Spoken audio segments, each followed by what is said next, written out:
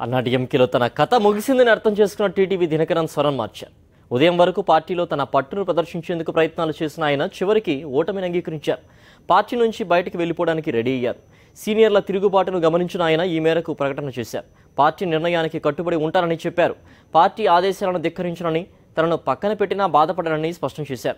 పార్టీకి ప్రభుత్వానికి దూరంగా ఉంటానన్నారు. అన్నాడీఎంకే ఒక్కటిగా ఉండాలన్నదే తన కోరికని చెప్పారు Dinakaran.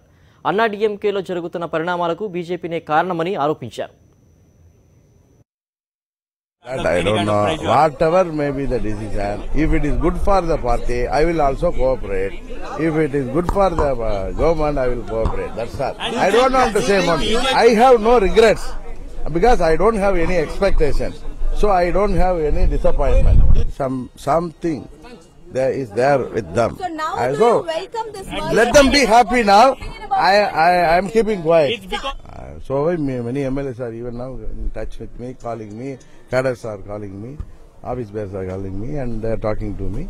But I, I why I want to keep quiet now? Because there should not be any problem in the party or in the government. So